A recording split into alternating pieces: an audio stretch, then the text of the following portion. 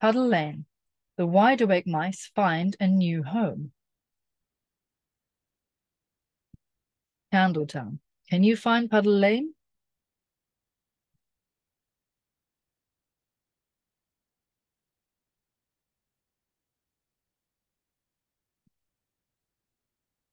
The wide awake mice find a new home. The wide awake mice were toy mice in Mr. Wide Awake's toy shop. One evening, the magician came into the shop. He didn't see the wide awake mice, but he spilt some magic dust all over them. That night, when the moon shone down, the wide awake mice came alive. They escaped from the shop through a hole under the door and ran across the square to the market. They climbed up a post and found a safe place to live on a shelf under the roof. This is another story about their adventures. The Wide Awake Mice. It was Friday evening. Friday was market day in Candletown. Every Friday, after the people had gone home, the wide awake mice went into the market.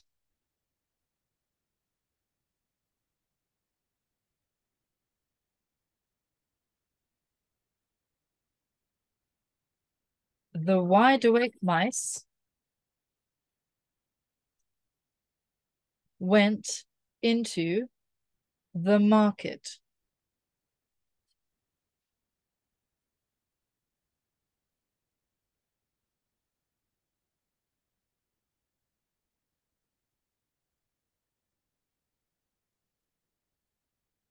They ate pieces of cheese and pieces of cake. They ate nuts and carrots and apples until Grandmother Mouse said, I can't eat another thing. And Grandfather Mouse said, It's time to go home.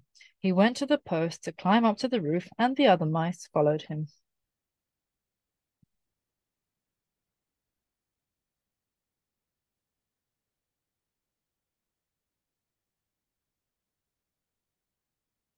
The wide awake mice ate nuts and cheese.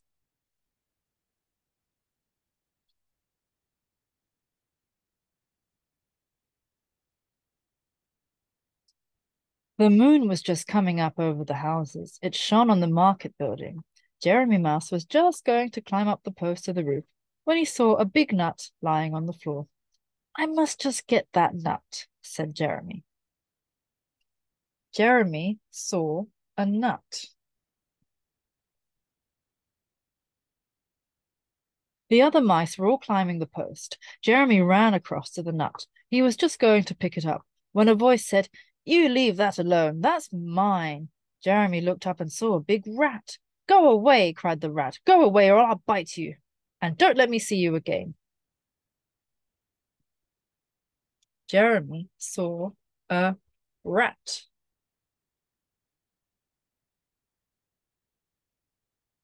But I live here, said Jeremy. If I see you again, you won't live here any longer, said the rat. Go away and don't come back. Jeremy ran away. He ran back to the post. He climbed up and met Aunt Jane. Aunt Jane was just coming to look for him. Jeremy ran away. He met Aunt Jane.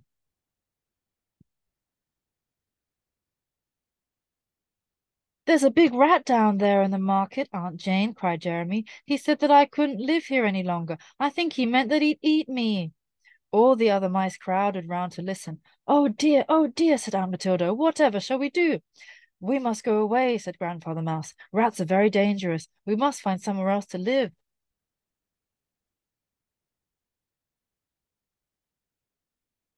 Grandfather Mouse said, We must go away.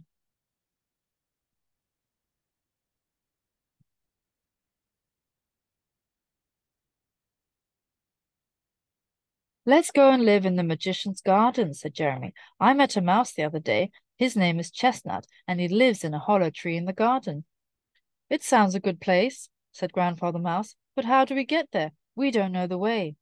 I do, said Miranda. I've been there. I saw the magician. The magician's house is in Puddle Lane.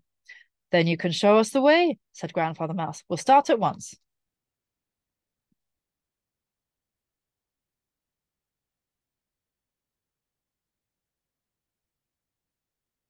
Miranda said, I saw the magician. The magician's house is in Puddle Lane.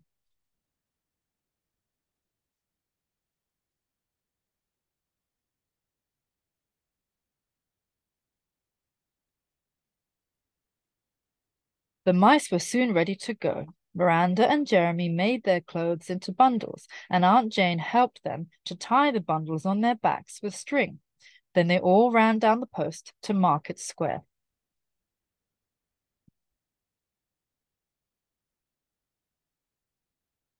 The wide awake mice ran down the post.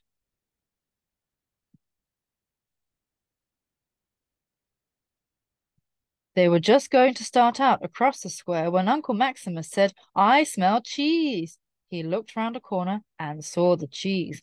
There was a little bit of cheese on a spike. Uncle Maximus was just going to eat it when Aunt Jane called out, Don't touch it! It's a trap! Uncle Maximus saw the cheese.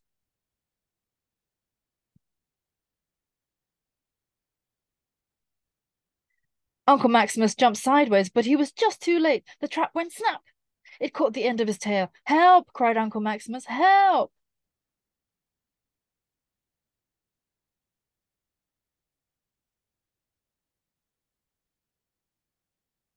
The trap went snap.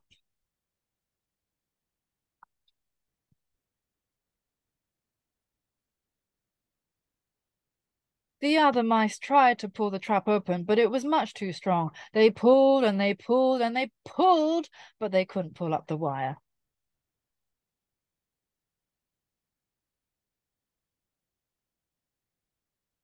The mice pulled and they pulled and they pulled.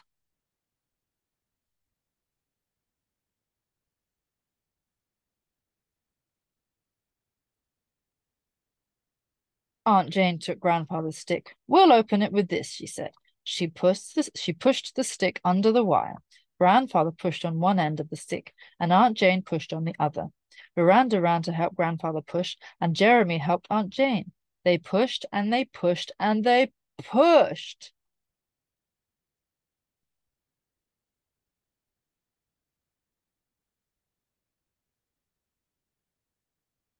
The mice pushed and they pushed and they pushed.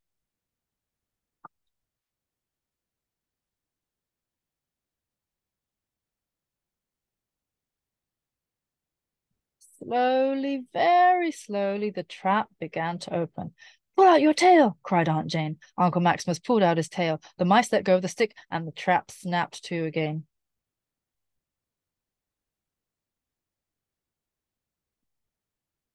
Uncle Maximus pulled out his tail.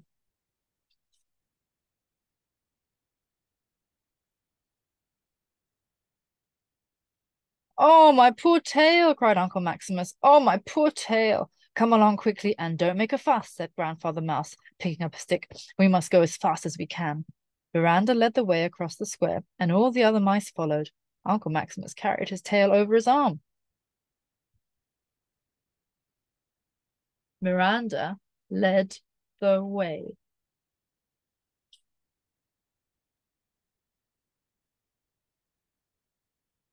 They came to the corner of Puddle Lane. Miranda led the way up the lane. They hadn't gone far when they heard a great clatter.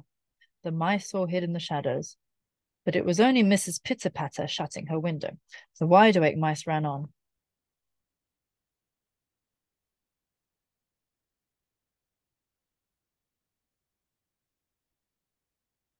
Mrs. Pitter-Patter shut her window. The wide-awake mice ran on.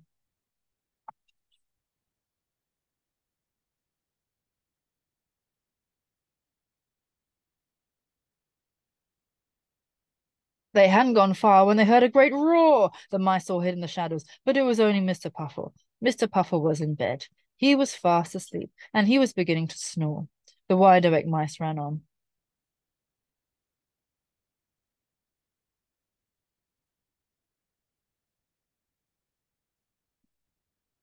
Mr. Puffle was in bed. The wide-awake mice ran on.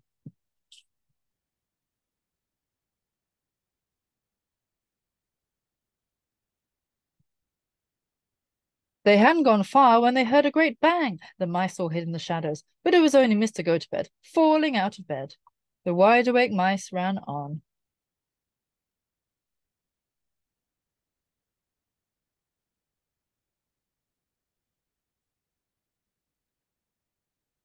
Mr. Gotobed fell out of bed. The wide awake mice ran on.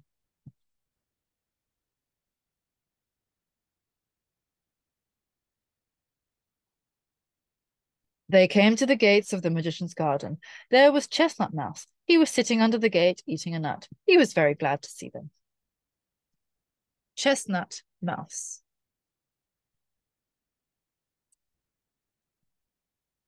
So the wide awake mice went to live with Chestnut in a hole under the hollow tree in the magician's garden, and while they stayed there, they were all quite safe.